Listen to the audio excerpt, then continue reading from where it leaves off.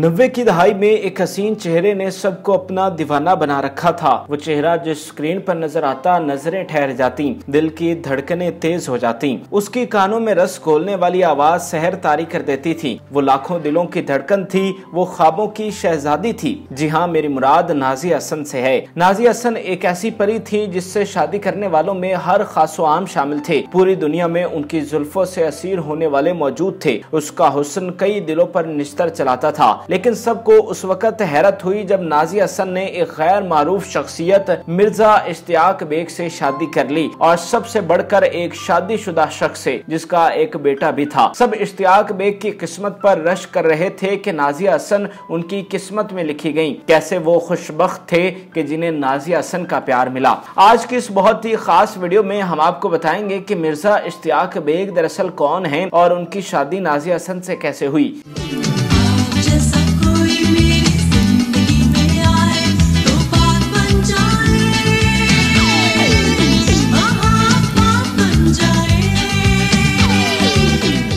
Mirza Ishtiaq bag Karachi की एक इंतहाई मारूफ कारोबारी शख्सियत हैं, जो पिछले पंद्रह सालों से मोरक्को के एजाजी कौंसल जनरल की हैसियत से अपनी खदमात सर अंजाम दे रहे हैं। उनके कारोबार का दायरा कार लाहौर, कराची, दुबई और मोरक्को तक फैला हुआ है। मिर्ज़ा इश्तियाक बेग न सिर्फ़ कारोबार से मुंसलिक है, बल्कि वो समाजी खदमात में भी पेश पेश रहते हैं। उन्होंने मेका विश के नाम से एन जी ओ बनाई है, जिसमें वो मुजी बीमारियों का शिकार बच्चों की ख्वाहिशात को पूरा करने के लिए सरगर्म रहते हैं। इस वक्त उनकी ऑर्गेनाइजेशन पंद्रह हज़ार के करीब बच्चों की ख्वाहिश पूरी कर चुकी है, जो बिलाशुबा किसी एजाज से कम नहीं। मिर्ज़ा इश्तियाक बेग कारोबारी शख्सियत होने के साथ साथ सियासत से भी वाबस्ता है। उनका ताल्लुक पाकिस्तान मुस्लिम लीग नवाज़ से है, जिसकी बुनियाद पर वो पाकिस्तान मुस्लिम लीग नून को मुख्तलिफ़ हैसियत में नुमाइंदगी करते दिखाई देते हैं। आमतौर पर कारोबारी शख्सियत के बारे में ये कहा जाता है की वो अपनी ज़िंदगी में इस कदर मसरूफ होते हैं की उनके पास सर खुजाने का भी टाइम नहीं होता। मगर मिर्ज़ा इश्तियाक बेग इस मामले में दूसरे बिजनेसमैन से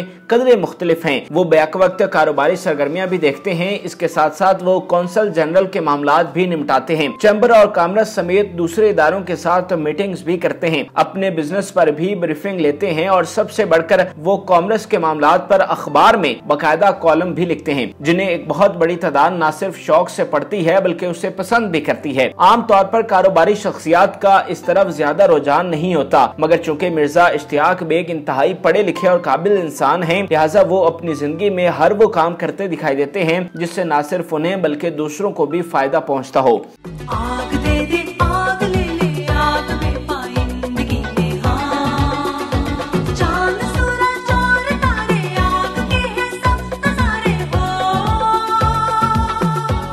मिर्ज़ा इश्तियाक बेग कई सालों से कारोबार में मसरूफ हैं, जिसके बारे में बहुत ही कम लोग जानते हैं। उन्हें असल मकबूलियत उन्नीस सौ पिचानवे में मिली, जब उन्होंने पाकिस्तान की पॉप क्वीन नाजी हसन के साथ शादी की, जिसने लोगों पर हैरत के पहाड़ तोड़ दिए कि आखिर किस तरह से ये शादी अंजाम पाई, क्योंकि दोनों के शोबे एक दूसरे से मुख्तलिफ़ थे। नाजी हसन के लाखों चाहने वाले थे। बड़ी बड़ी शख्सियात नाजिया हसन से शादी की ख्वाहिशमंद थी, मगर नाजिया खुशकिस्मत मिर्ज़ा इश्तियाक बेग के हिस्से में आई। मिर्ज़ा इश्तियाक बेग और नाजिया हसन के किस तरह एक दूसरे से मिले, ये कहानी दिलचस्पी से खाली नहीं। हुआ कुछ यूँ के मिर्ज़ा इश्तियाक बेग की बहन आफरीन बेग, जो शोबिस का हिस्सा थी, उनकी नाजिया हसन के साथ गहरी दोस्ती थी। नाजिया जब अपने करियर के उरूज पर थी तो उन्हें ओवरीन कैंसर ने आघेरा जिसके इलाज के लिए वो बरतानिया चली गई डॉक्टर्स ने नाजिया का इलाज किया और वो इससे रिकवर भी हो गई लेकिन डॉक्टर्स ने नाजिया को बताया की वो कभी माँ नहीं बन सकेंगी।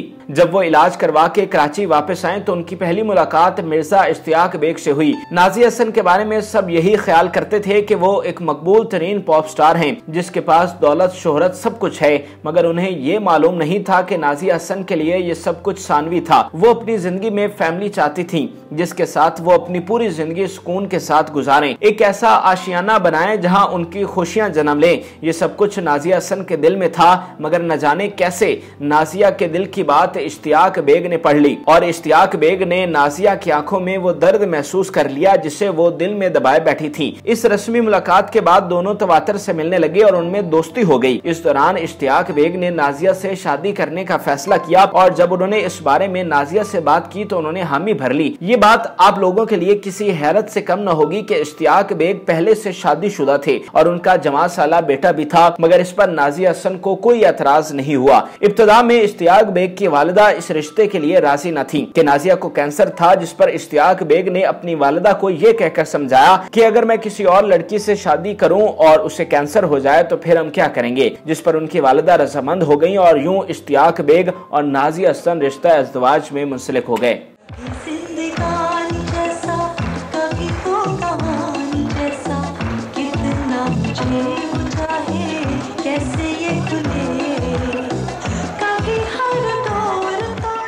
इश्तियाक बेग के बकौल नाजिया हसन को उनसे शादी करके ऐसे लगा जैसे नाजिया को सब कुछ मिल गया हो, जिसकी उन्हें तलाश थी।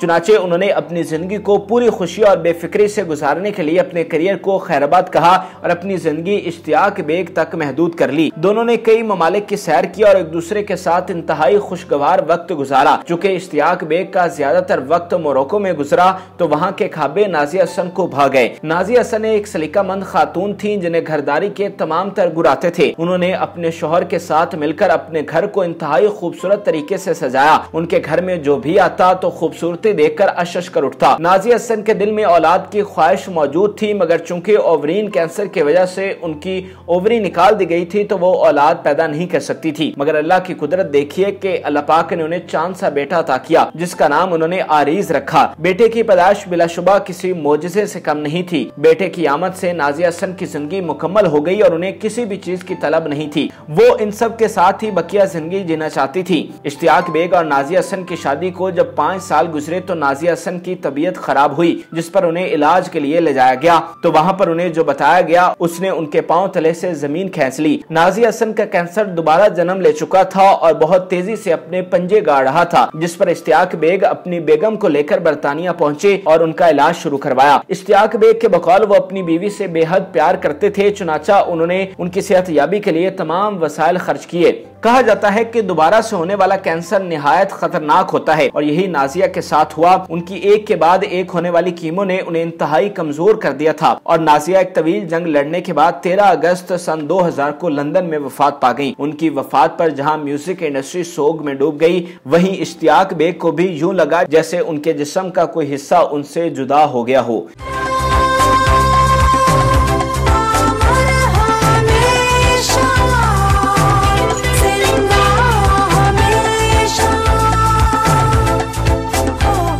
नाजिया हसन की वफात के बाद इश्तियाक बेग ने दूसरी शादी नहीं की। उनका बेटा आरिज कानूनी मामला की वजह से अपने वालिद के साथ नहीं रह सका। वो आजकल लंदन में अपने ननिहाल के साथ रिहायश पजीर है और एक अच्छी ज़िंदगी बसर कर रहा है। इश्तियाक बेग के वैसे तो कराची में कई घर है, मगर वो उसी घर में रिहायश पजीर है जो उन्होंने नाजिया के लिए बनाया था और उनके साथ मिलकर सजाया था। नाजिया की वफात के बाद इश्तियाक के दिल में ख्याल आया की इस घर को बेच दें, मगर इस घर के साथ जुड़ी यादें इश्तियाक बेग को ऐसा करने से रोक देती है। वो इस घर में अपने बेटे और बहू के साथ रिहायश पजीर है। नाजिया की इश्तियाक से शादी पर नाजिया के घर वाले शुरू दिन से ही राज़ी नहीं थे, क्योंकि उनके नज़दीक मिर्ज़ा इश्तियाक बेग का किरदार ठीक नहीं था। नाजिया के इंतकाल के बाद मिर्ज़ा इश्तियाक बेग और नाजिया की फैमिली ने एक दूसरे पर इल्ज़ाम लगाए और हैरान कन तौर पर कई सालों के बाद जुहेब हसन अब सबूतों के साथ सामने आए हैं और नाजिया हसन की मौत को तबई नहीं, बल्कि एक कत्ल करार दे रहे हैं। जैसा कि नाजिया हसन का बेटा अरीज अपने ननिहाल के यहाँ पला बड़ा है और आज जब अरीज के मामू और नानी उनके बाप पर कत्ल का इल्ज़ाम लगा रहे हैं तो सवाल ये है कि क्या अरीज भी ऐसा ही समझता है? अरीज अपनी वालदा की वफात के बाद लंदन में ही मुकीम रहा